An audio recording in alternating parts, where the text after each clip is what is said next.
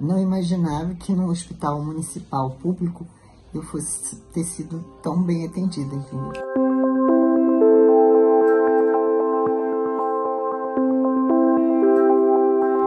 Hoje eu tô aqui com a minha mãe pra gente contar um pouquinho o que aconteceu com a gente nos últimos dias. A gente apresentou febre e minha mãe apresentou tosse também.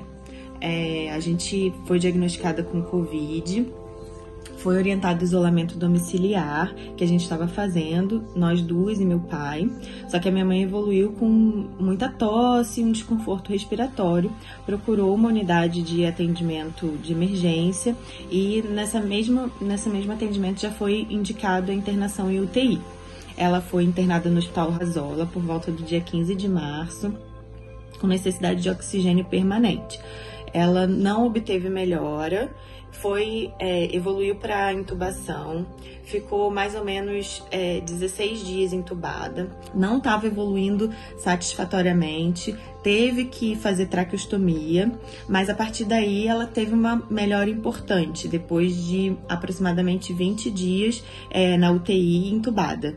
A gente está fazendo esse vídeo para é, agradecer toda a equipe do hospital, é, desde o momento que ela internou na, na unidade de intensiva, é, até a, a, hora da alta na enfermaria, ela teve todo o suporte é, que precisava, ela foi é, muito bem tratada. Eu tive contato com os médicos responsáveis pelo tratamento dela. É, nos deixaram assim extremamente seguros é, que estava fazendo o, o tratamento correto. É, graças a Deus hoje a gente já está em casa, tivemos alta na Páscoa e ela tá bem, tá se alimentando bem, ainda tá um pouquinho fraquinha, né? Mas é normal depois de tudo que aconteceu.